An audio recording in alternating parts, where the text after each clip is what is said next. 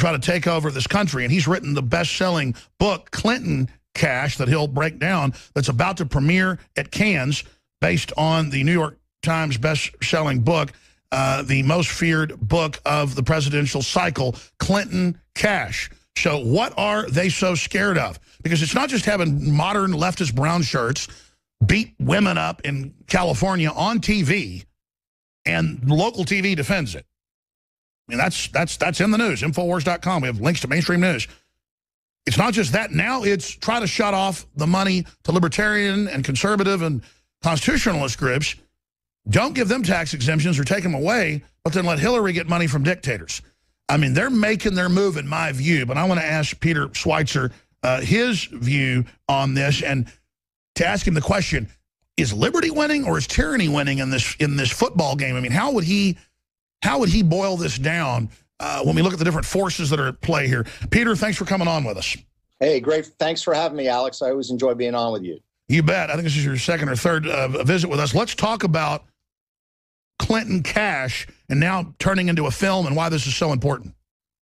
Well, I think it's important for a couple of reasons. Uh, first of all, we follow the money. Uh, this is something that you would expect mainstream journalists to do. They talk about money in politics all the time. But the fact of the matter is, no one has gone and dissected who gave the Clintons money, why they gave them money, and when they gave them money. And by the way, Alex, what's I think so troubling and compelling about the Clinton case is we're not just talking about Wall Street or big oil or the traditional sources of money in American politics. What we're talking about is foreign governments, foreign dictators, and foreign financiers. This is a way where foreign entities have figured out a way around U.S. laws that prevent them from giving money to political candidates. They can now put it in the Clintons' pockets through speaking fees or give it to the Clinton Foundation and curry favor and access that way.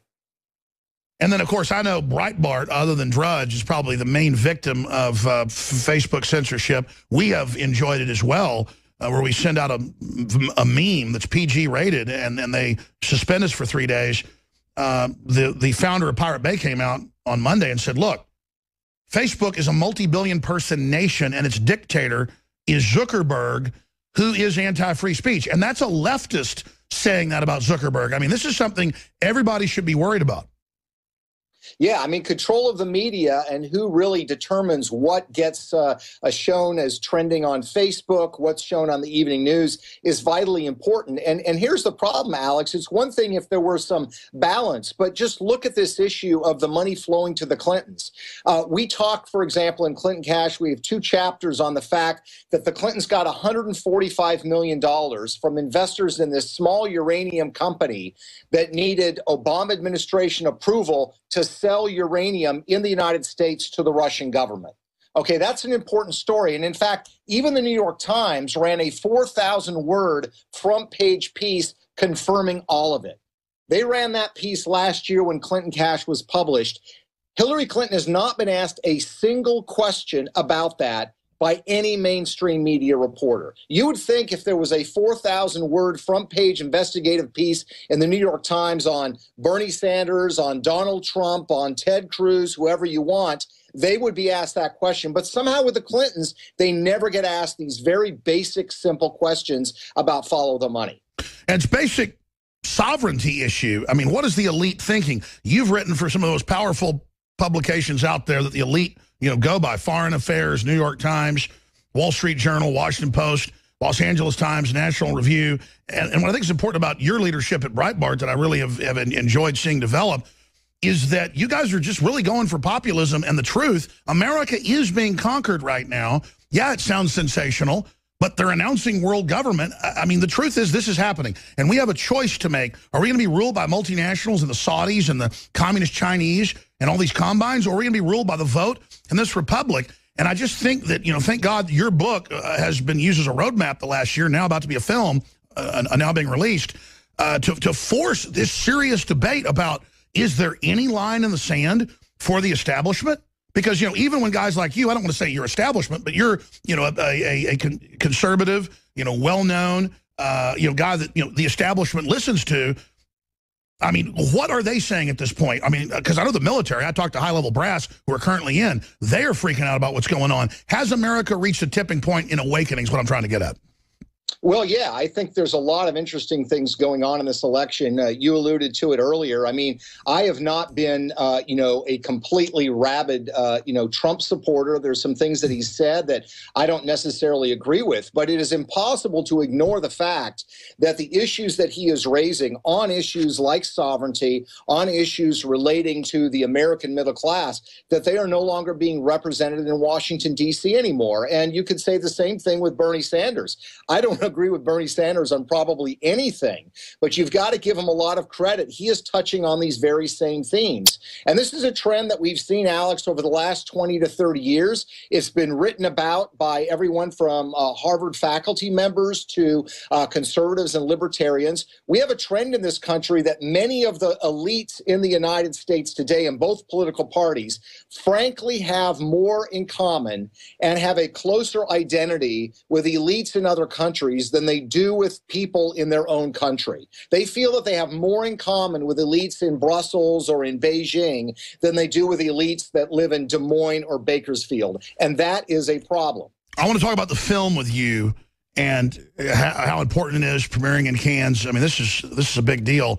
Uh, because if folks think, you know, your book's already almost brought down uh, the Clintons and others and exposed this this destruction of our sovereignty, this this takeover, imagine it being a blockbuster like 2016. Hopefully they won't, you know, arrest you or the filmmaker uh, like they've done uh, Dinesh D'Souza.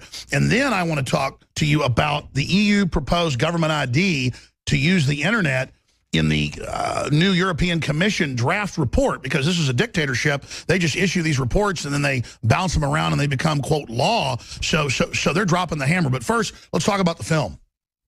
Yeah, uh, the film is really basically uh, an attempt to make the material in the book more accessible to people. I mean, we get the fact that people are busy, busy, people are working hard, and when they get home from work, they don't necessarily want to dive into a, you know, several hundred page book that's got multiple footnotes. So what the film does is take some of the material in the film. There's some new stuff as well, and it encapsulates it and presents it in a very visual and powerful way. And what's interesting about this, Alex, is the earliest reviews of this film uh, were not by conservatives, people that dislike Hillary Clinton. Uh, it was by MSNBC. It was by Salon. Uh, it was by The Guardian in the UK, which is a, a left wing paper. They all gave the film favorable reviews uh, because they feel the information is compelling and powerful. And you can do not deny the fact that the Clintons are cooperating and working with elites that are backing warlords in Africa or engaged in some very nefarious behavior. Well, that's the thing about Hillary. other places around the world. From a leftist perspective, she's what you'd call a super right-wing warmonger, profiteer, gangster, like Trump says. I mean, there's nothing liberal about this woman except her rhetoric. Yeah, the, the word that I often hear uh, from Bernie Sanders supporters that I would agree with is that she is a corporatist. Uh, that, in other words, she melds her interests and American national interests with the uh, interests of favored corporations. And that would be corporations that put money in their pockets. So she's going to carry out a policy in Africa, for example, that's not necessarily based on our national security interests or in the interests of human rights, but what's best for mining corporations that have put a lot of money in the Clinton Clinton's pockets. And uh, that's something that I think a lot of conservatives and independents would uh, have problems with. And it's certainly something that uh, Bernie Sanders supporters sure. would have a problem with. Now, there's Breitbart.com. People can go see the trailer there. We're going to play the trailer when we come back at the start of the next segment, right out of the break, viewers and listeners. So stay tuned for that. Uh, but Peter Schweizer, who heads up Breitbart.com, one of the biggest independent news organizations in the world, let me ask you this when we go to break in 60 seconds. I mean, I wouldn't call you an establishment guy, but I mean, you're, uh, I mean, I'm going to go over your bio here, but you're a prestigious guy, worked with some of the, you know, top, uh, you know, TV production, you name it, some of the top uh, publications. People listen to you. Would you say that other people in the more intellectual you know, level of discourse are now starting to wake up to what's happening? Because, you know, you supporting Trump and, and things like that's pretty hardcore uh, in the traditional paradigm. Well, I would say that um, yes, there's a lot of disruption uh, among establishment circles that are surprised at what's happening. Um, certainly, uh, you know, the predictions that a lot of people have made uh, have been proven to be wrong. Uh, but I would say even at Breitbart, look, we have a very vigorous debate. Um, you know, I'm a senior editor there. The executive chairman, Steve Bannon, uh, Alex Marlow, the editor in chief. We have vigorous debates on these issues. What I find so interesting is a lot of the focus is on the personality of Donald Not the Trump. Stay, stay there, Peter Schweizer. We're going to be right back to talk about this straight ahead in the trailer. Out of the break. Stay with us. Alex Jones back live. Clinton Cash Movie.com is the website. Here is the trailer for the film that opens in Cannes this weekend. Greetings from Washington. I want to thank all of you for your work to root out corruption that weakens economic development, feeds black markets and organized crime, and undermines the promise of democracy. I believe in the oldest adage in American politics, which is follow the money. A new report today claims that the Clinton Foundation gives about 10% of its money that it raises to actual charities. Enormous amounts of money have flowed to the Clintons from foreign governments, foreign financiers, and businesses. The Clinton Foundation dropping its self imposed ban on collecting funds from foreign governments and entities you have a foreign corporation or a foreign government that wants something from the State Department while Hillary Clinton is Secretary of State. They will make a large payment to the Clinton Foundation. That will be followed by favorable action on their behalf. They've created a model for massive self enrichment that allows you to go into so called public service, but get extremely rich at the same time. Oh, yeah. I, I got to pay our bills. Before we had to worry about money from Wall Street and big labor, now we have to worry about it coming from around the world and infecting our politics. With the Clintons, nothing is sacred. Everything is for sale. But we are the ones who are paying the price. Maybe, just maybe, the American people are tired of being sold out. I can't wait to see it. A really smart film because I've read the book, I guess six months ago, about four or five months, six months after it came out. Congratulations uh, on what you put together here.